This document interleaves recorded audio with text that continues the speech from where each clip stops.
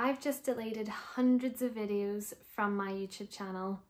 Let's talk about it. So if you're new here, if you've just happened to have stumbled across this channel for the first time, then hello, my name is Lisa. I'm a musician in Northern Ireland and for the past three and a half years, I've been uploading music videos onto this YouTube channel. Some original music, some traditional music from Ireland and Scotland, and also a whole lot of cover songs.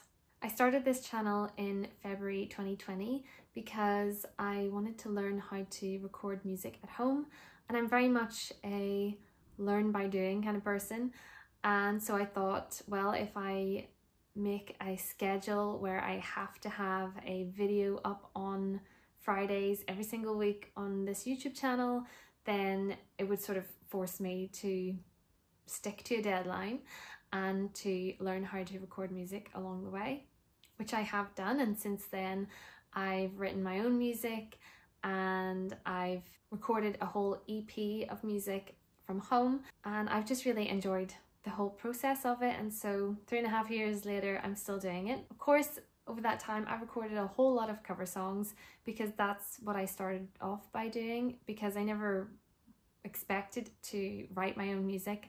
I was just learning how to record songs and so I recorded the songs that I knew how to play and the songs that I liked playing and a lot of people like to hear them so I just kept recording cover songs and over time I ended up with well over 300 videos on this YouTube channel. I know I never got the correct music licenses that you're supposed to get. Um, on a side note, most musicians on YouTube don't get the actual correct licenses that they're supposed to get. And at the end of the day, I was just creating this channel because I just wanted to learn how to record music. I never wanted to make money off YouTube. I never have made money off YouTube. I've never, even though ads run on my videos, you might have seen a few ads, I don't earn money from that. How it works is that if I record a cover song and put it up on YouTube, the copyright holder of that song will run ads on the video and they will earn all the money generated from those ads. And so it's a win-win situation because I get to put up a cover song and the person who wrote the song gets the money for it, which is the way it should be. So that's why I never tried to obtain any licenses or try to get any royalties from anything was because I never wanted to make money off YouTube and I wanted to make sure that the artist was getting all the money for that. I never expected over time that I would create such a lovely community here on YouTube and I really appreciate everyone who has really enjoyed these videos that I've made and has joined in on any live streams that I've done and the people who leave me comments and contact me about the videos. So I really, really appreciate all of you. And so that's why I've kept doing what I've been doing. However, I was recently issued a copyright strike which is different than a copyright claim, which is what the majority of the cover songs get on the videos. Um, the claim just means that the copyright holder is going to claim all of the revenue on the video, which as I say, I was 100% fine with that. That's how it should be. But a strike is like a huge black mark against your name. And I got one of those recently about two months ago and then the other day I got a second one. And if you get three then the entire channel gets deleted for good. So not not something that I wanted. And it's all because the videos that have the strikes against them were videos that I put out years ago. So it's just become a recent problem and obviously I don't want to lose my channel and I'd rather have something left rather than nothing left I also have a lot of my own music here on YouTube.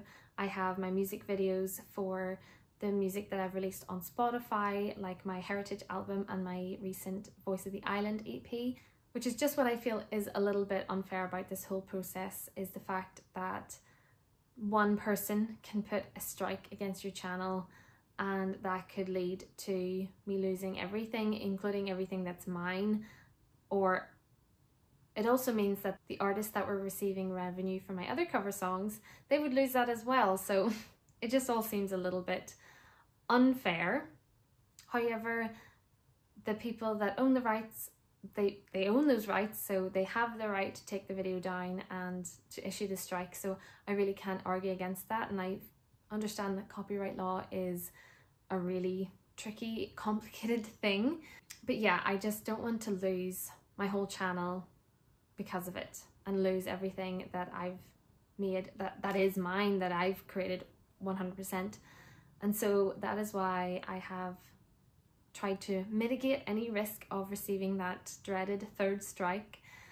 Um, so I have decided to delete anything on this channel that I did not write myself or that isn't in the public domain like traditional music or classical music. So I just wanted to make this video just to let you know because as I say, I know that so many of you expect these videos and you've been so kind as to always leave me comments and to join in with any live stream and I really really appreciate you and so I just wanted to keep you informed as to why a whole bunch of videos have just suddenly disappeared. But if you're new here and you don't really care about those old videos then um, well here's what you can expect from this channel going forward. I will of course be creating a lot more original music and sharing a lot more songs that I've written um, I'll be exploring a lot more traditional music. I'm still going to be doing my live streams, but unfortunately I'll not be able to do the typical song request live streams that I was doing, even though I enjoyed them so much, but I will keep doing those on Thursday evenings. So if that all sounds good to you, then please do subscribe to the channel. Or the very best way for us to keep connected is through my mailing list. I will leave a link to where you can sign up to the email list um, in the description box down below.